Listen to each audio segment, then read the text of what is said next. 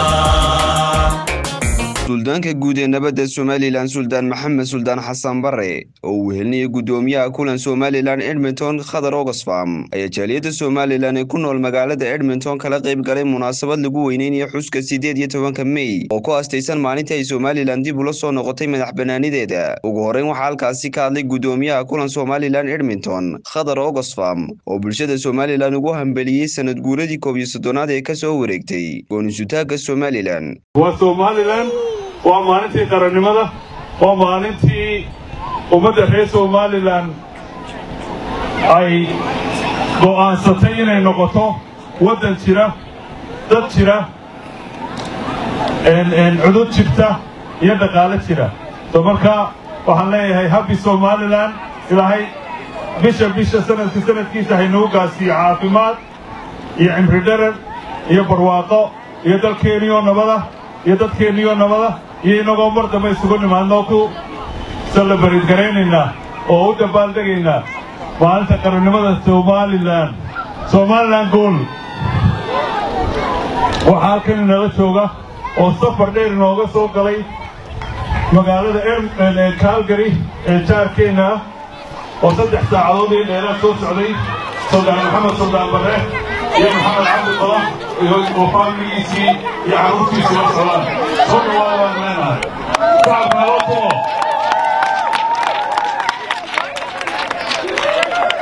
aad baa maasantay suldaan anuu hadal badan odhan maayo suldaankan ku soo dhowaynayaa intaydii iyo intiinnii iyo intii kaleba isagaa inoo odhanaya waxaa halkan inala jooga odayaasheennii hablaheennii dumarkeennii inamadaennii carruurteennii haddaynu nahay reer somalilan dhammaanteen waxaynu u baahannahay inaynu gacmaha isqabsanno inaynu mid noqonno inaynu wada shaqayno inaynu ka qayb qaadanno xafladaheenna inaynu ka qayb qaadanno meesha kolba dhibaata jirto inaynu innagu isla shaqayno. Waa sababta aynu maanta isugu nimid waa sababta aynu doonayno inaynu hore uga soconno. Soo suldaanka soo dhowow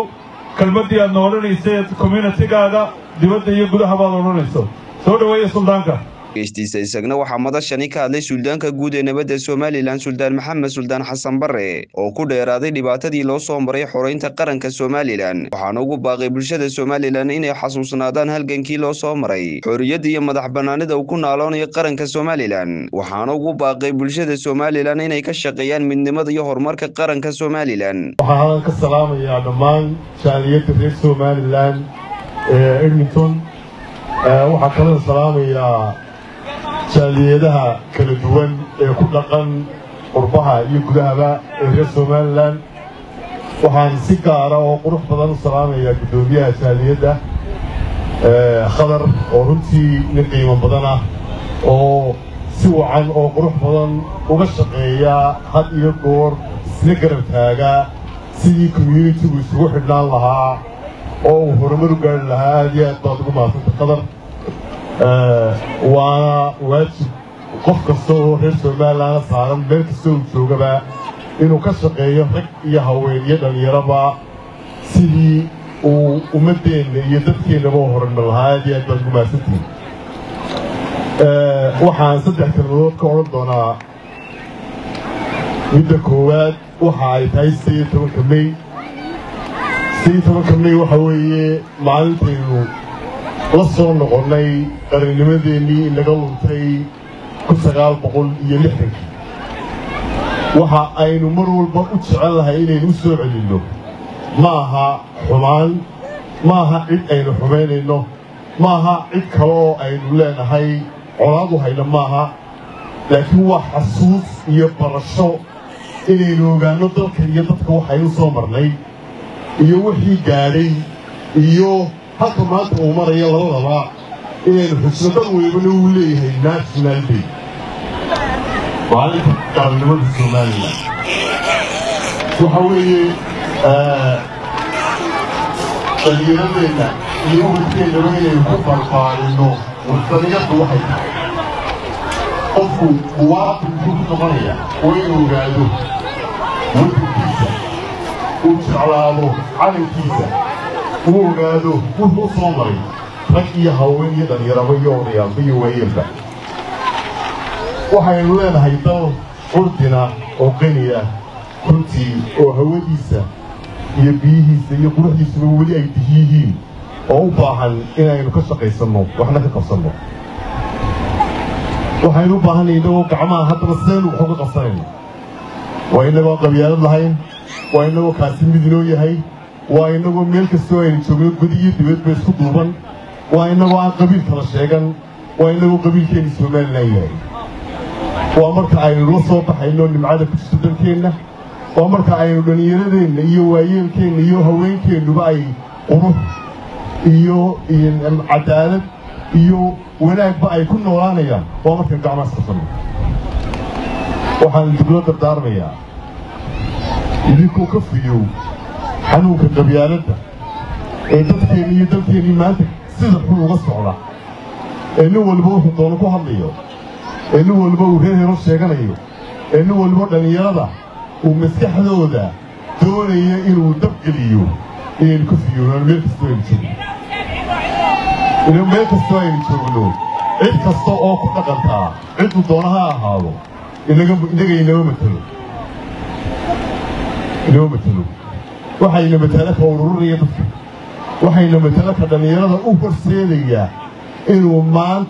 furo ila dhaqaala ka soo galo amba ay camal ka helaan kaasayna matalaya ku doona ahaado u kalaa tirminayna qabiil ku sheegi mayno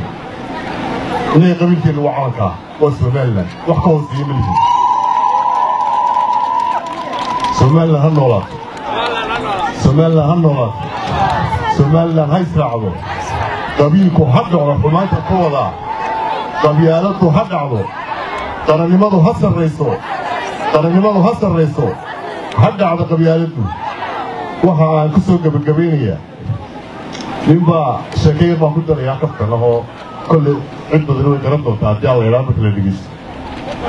waxaa dhacday nin baa beri ku dhintay meel deegaankiisa ka fog had iyo goor marka qofku deegaanka ka fogyeyna waxaa la geyn jiray waqtigaa udubka reerku halku yaallo. Si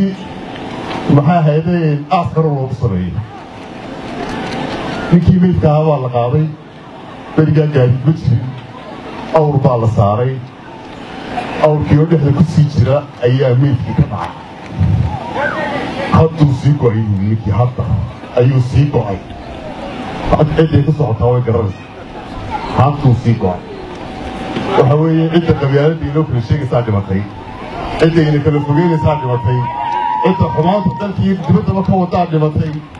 innagu ma nihin kuwa waxaan kula dardaarmayaa kuwa waddanka jooga iyo kuwa gudaha jooga iyo dibadda joogaba yaan layntii kala aftirin dhallinyaradana waxaan leeyahay dalka idinka u xooga wakhtigiinna iyo cimrigiinnu iyuu ku dhammaanin ninaad sacabka u tuntaan maaha taatiinu waa in aqoonaa barataan waa inaad dalka sidii loo horumarin lahaa aad ka shaqaysaan waa inaad noqotaan maxaa ikhtiraacdeen maxaa dalka ku soo kordhiseen iskuuliye jaamacadaha ka baxdeen maxaa aad samayseenaynta aad fadhiisateen weli laab ma fadhiisateen oo dalka wax ma ku soo kordhiseen intaad qabyaaladda iyo nisacabka u garaacaysaan ka baxa dhallinyaradow idinkaa maanta dalka leh aqoontiinna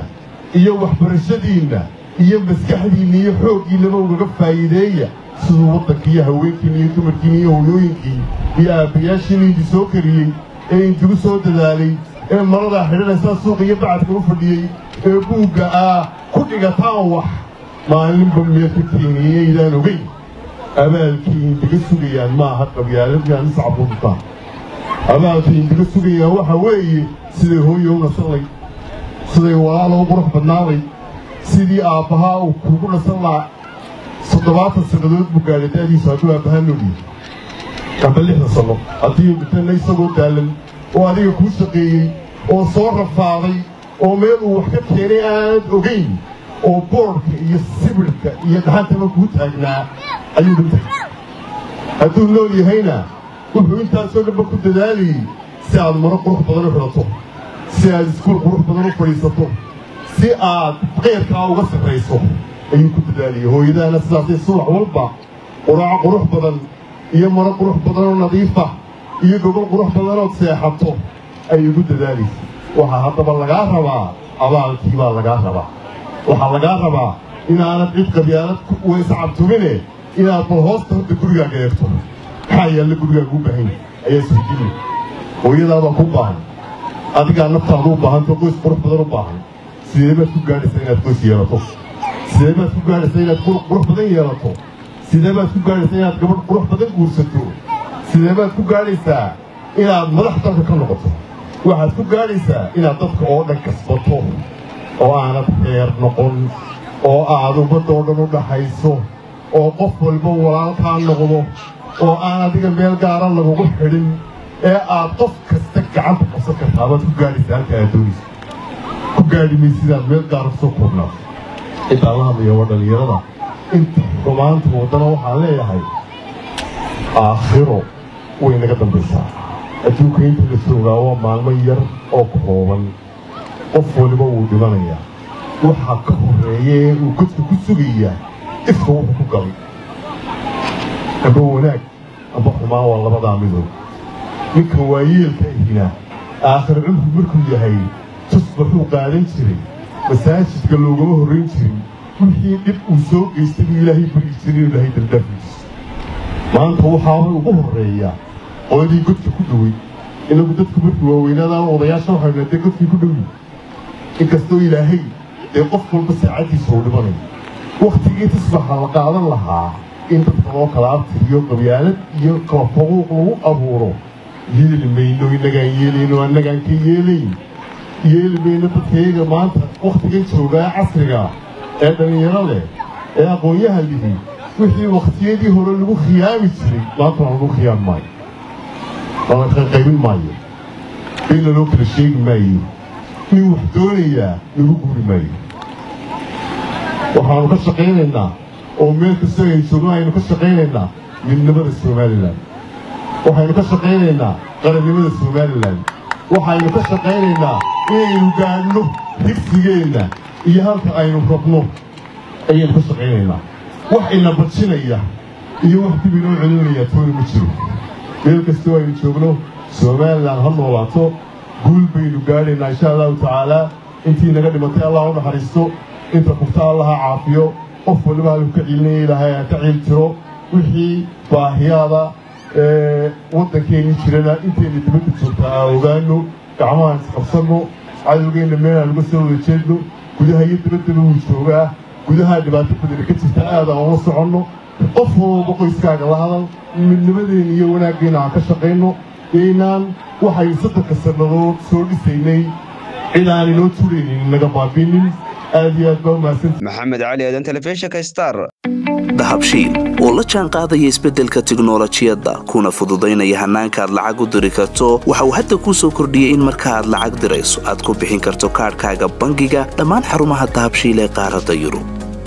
Abka dahabshiil oo aad kala soo degi karto blay store iyo abstore ayaa kuu sahlaya in meel kasta oo aad joogto aad lacagaha si fudud uga diri karto sidoo kale websayteka dahabshiil ayaad si fudud lacag uga dhex diri kartaa goob kasta iyo goor kasta. Lacag kasta oo aad dirto waxa uu qofkaad lacagta u dirtay sikima gudahoodu ku helayaa adeegga iidahab ee moobilkiisa gacanta. Waxaa loogu shubi karaa akoonkiisa bangiga dahabshiil amaba waxa uu ka qaadan karaa dhammaan ballaamaha dahabshiil ee dunida dacaladeeda dahabshiil howlfudaydyahaaga maaliyadeed